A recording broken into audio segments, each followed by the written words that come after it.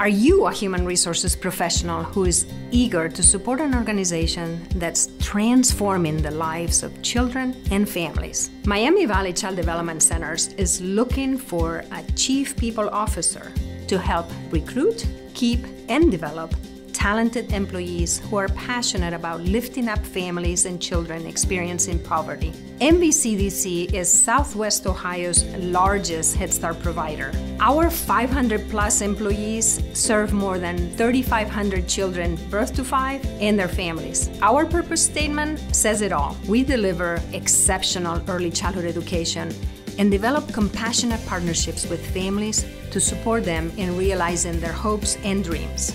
Our Chief People Officer will focus on building a high performance culture that rewards and recognizes outstanding work. We're committed to coaching, mentoring, and collaborating. Talent and performance management, training and development, employee relations, and employee engagement are priorities. Learn more about this exciting opportunity at mvcdc.org